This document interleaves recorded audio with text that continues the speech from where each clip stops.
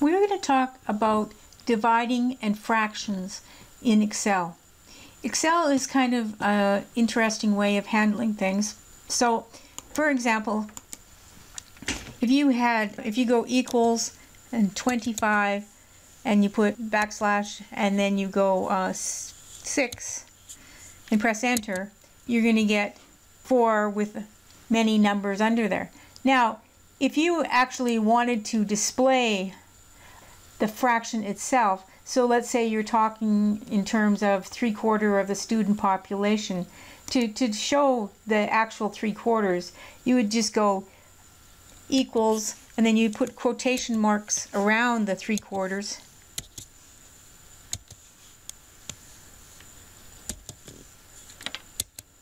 And then you, it would actually display three quarters for you.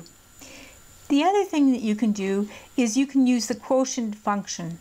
So, for example, if you were going to have your 25 divided by 6 and you wanted it to be integers as in whole numbers so you didn't want to have it see the remainder, what you would do is you'd go equals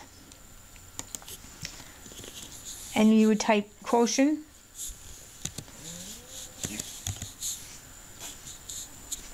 quotient and you would go numerator, which is the top number. So you go 25, and then you put a comma, and then you put the denominator, which is the, the bottom number, and then you close the bracket and press enter, and you get 4. So it's an integer, it doesn't have any fractions associated with it. So that's kind of interesting. So let's go on and let's Remember your days of uh, trying to figure out um, adding fractions and you had to figure out the lowest common multiplier of all these fractions? Let's put our fractions into two lines. So let's say we had a fraction of 5, 5 twelfths and then we had a fraction of 4 fifteenths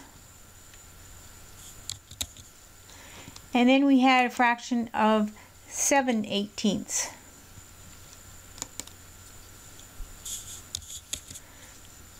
We wanted to add these. So what we're going to do is there is a handy little function called LCM, lowest common multiplier, that will calculate it for you. So then I'm going to select it here. And what we're going to do is we're going to select each number and we're going to put a comma beside it.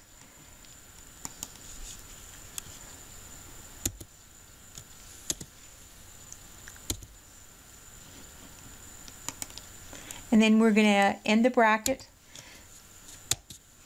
And it's figured out that the lowest common multiplier for for these three numbers is 180 so so 12 times 15 is 180 so what we're going to do is we're going to add these numbers up we're going to go equals and then we're going to put an opening bracket and we're going to go the 5 and we're going to multiply it by the 15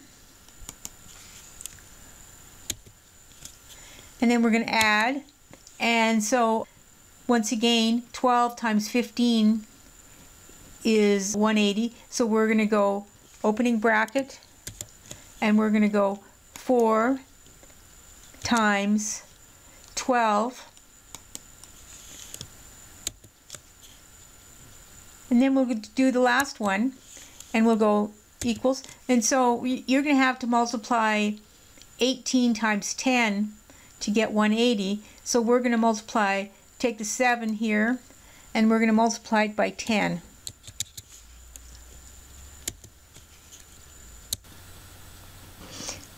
So that that's your that's your final fraction, which is 193 over 180, which is a little bit easier to divide than if you're trying to do it on on pen, pencil and paper. So uh, please subscribe.